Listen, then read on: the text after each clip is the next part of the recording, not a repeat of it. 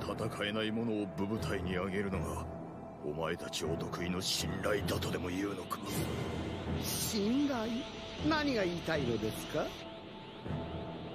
に二度も手を下させるな。あれはただの保険です。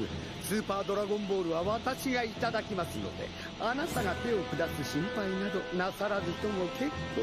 今のあなたからは以前のような絶対的な強さを感じませんよ。あなたは再び敗北を味わうことになるでしょう。この私にね。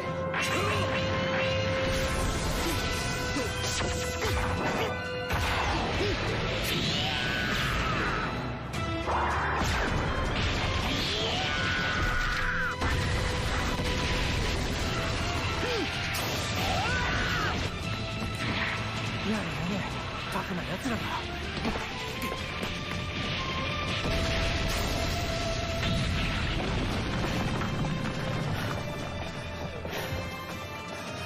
おや？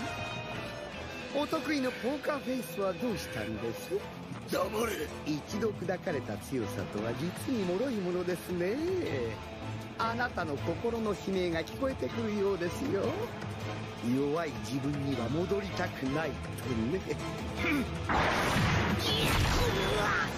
俺の強さが砕けたと言ったら本当に砕けたかどうかその身をもって思い知れ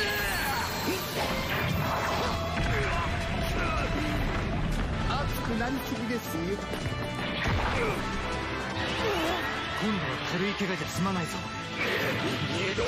ワンお互いに。余計なことを。